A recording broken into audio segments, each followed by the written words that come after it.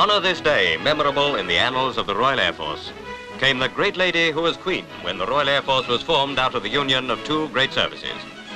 Her son, the Duke of Gloucester, was accompanied by his Duchess, Air Chief Commandant of the Women's Royal Air Force. Ill health prevented the attendance of the King, who served with the RAF at its foundation, but with the Queen came Princess Elizabeth to make the presentation on his behalf. Together with Princess Margaret, they went to the Distinguished Visitors' Dais, where Queen Mary received greetings on her 84th birthday. It'll be remembered that her son, the Duke of Kent, lost his life on service with the RAF during the war. The Prime Minister was among those present. With the royal party in position, the parade commander, Air Commodore Waite, ordered the royal salute.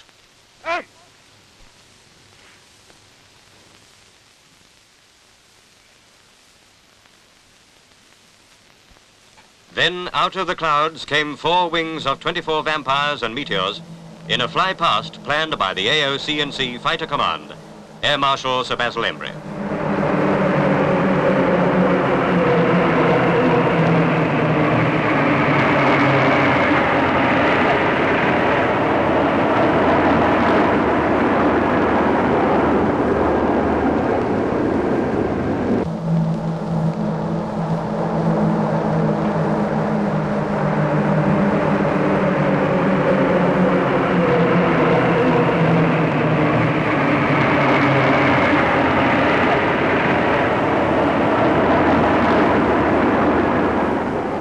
With the typical bad luck which seems to haunt RAF flypasts, the weather was now fast becoming bad, and flying at 280 knots, stepped down to 1,200 feet through the clouds over the heart of London was no joyride. What would have been a thrilling spectacle for the great crowd became a hazardous operation only partly visible.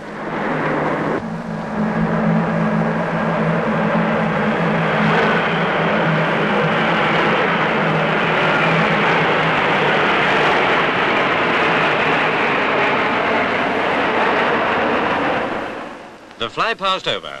Princess Elizabeth, accompanied by Air Chief Marshal the Honourable Sir Ralph Cochrane, Vice Chief of Air Staff, began her inspection, prelude to the most spectacular ground op the Royal Air Force has ever laid on in London.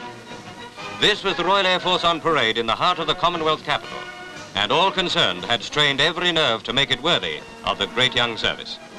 Undeterred by the weather, a large crowd had come to Hyde Park for this great day in Royal Air Force annals.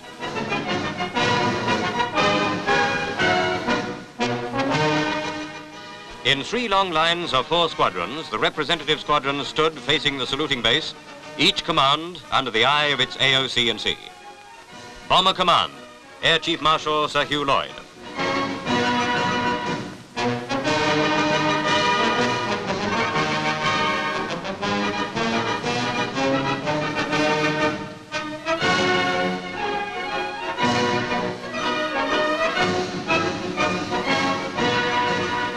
Flying Training, Air Marshal Sir Hugh Walmsley.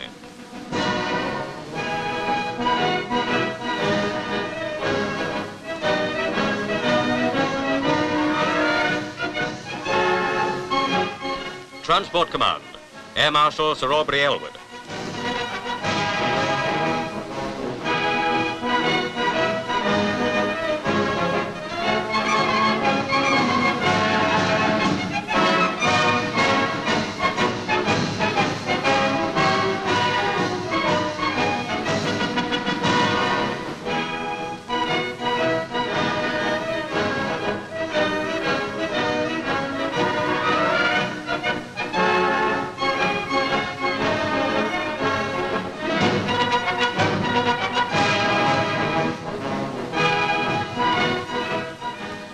Now the Land Rover passes the Royal Air Force Regiment and enters the second lane, where the first group consists of apprentices and boys.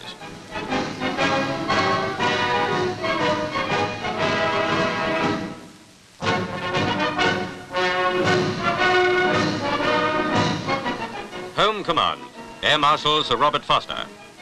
Maintenance Command, Air Marshal Sir Thomas Vaughan Brown. Fighter Command, Air Marshal Sir Basil Embry.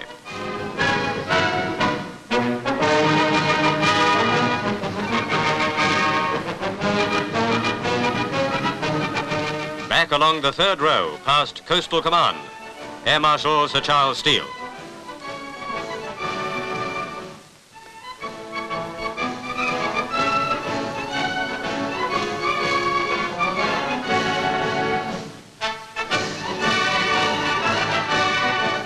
Technical training, Air Marshal Sir John Whitworth Jones. Number 90 Group.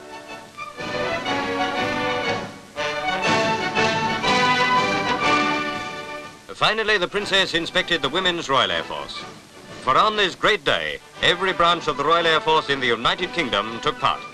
For those who fly and those who keep them flying.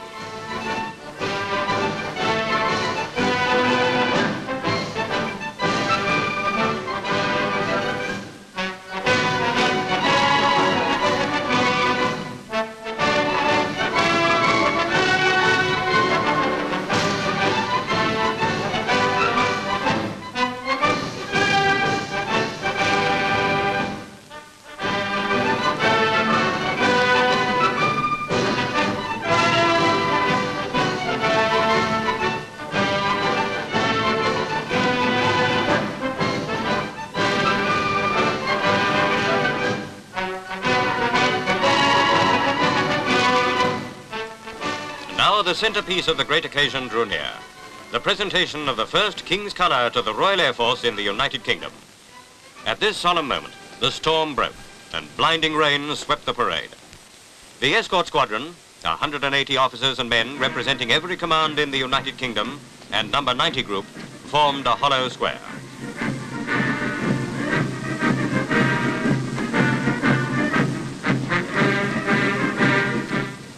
The King's colour was placed on the drums, and Air Commodore Waite reported all was ready for the consecration by the Chaplain-in-Chief of the Royal Air Force.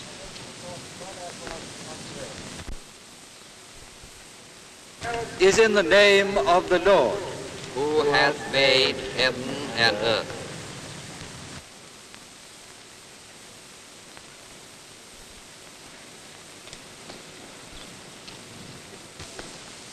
We ask you to bid God's blessing on this colour. We are ready so to do. To the glory of God and as a symbol of our fellowship with him and with each other, we consecrate this color in the name of the Father and of the Son and of the Holy Ghost. Amen.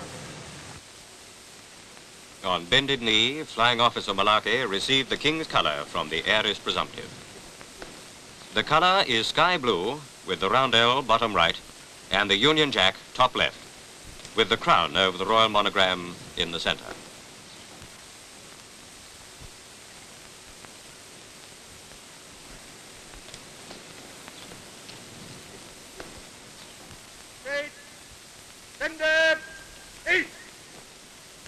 Then, while the great parade of 2,500 officers and men listened, Princess Elizabeth, sheltered only by a large umbrella, delivered the King's message. I have been asked by the King to read to you the address which His Majesty was to have made this afternoon. And at the same time, he would like me to say how very sorry he is not to be able to be with you in person. I am very glad to present my color today to the Royal Air Force in the United Kingdom. Your service was formed during the reign of my father, King George V, and I myself have had the closest ties with the Royal Air Force since its formation in 1918. I have watched with the keenest admiration how it has grown up from those early days to prove in every way worthy of its place alongside the older services.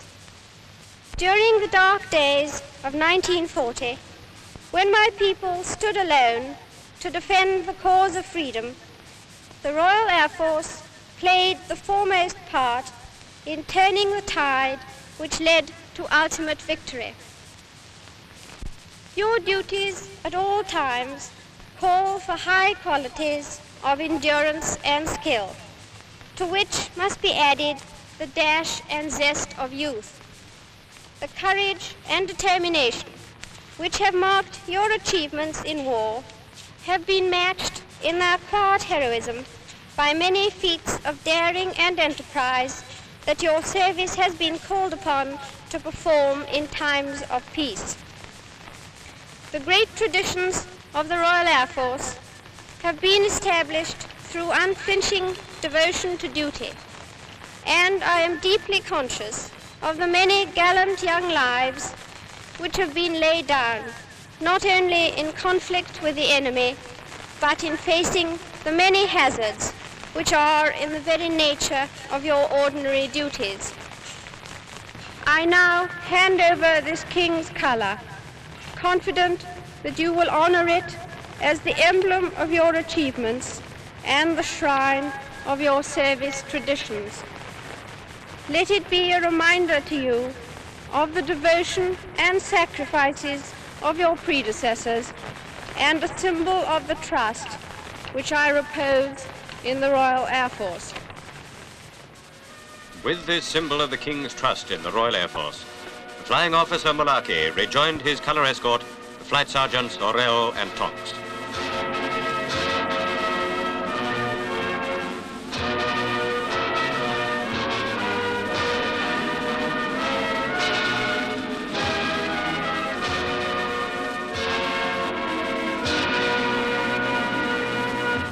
Born in the darkest moments of a great war, in little more than a generation, the Royal Air Force, through the service and devotion of the highest and the lowest, has built a tradition that is the envy of the world.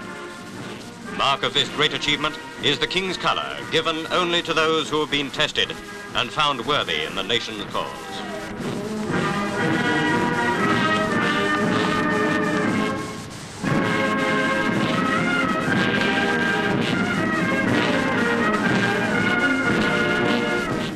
Then, for the first time, the Royal Air Force in the United Kingdom lowered the King's colour in salute to the King.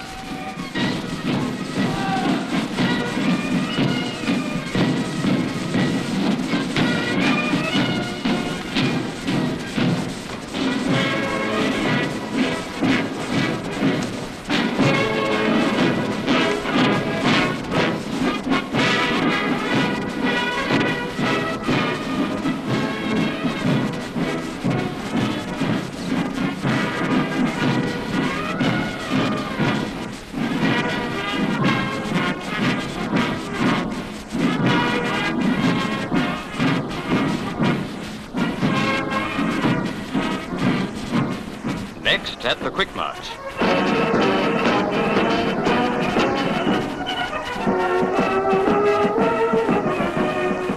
Reforming, the great company then advanced in review order, completing the parade. After the royal salute, the parade commander called for three cheers for His Majesty. Three cheers for His Majesty the King. Hip hip, hooray! Hip hip, hooray! Hip hip, hooray! Now the march past of the great company in column of route, the spectacular highlight of the parade. Drilled to perfection, many of them young in the service, the men marched proudly past with perfect precision, despite the treacherous going of the sodden turf, bringing to a close this great occasion.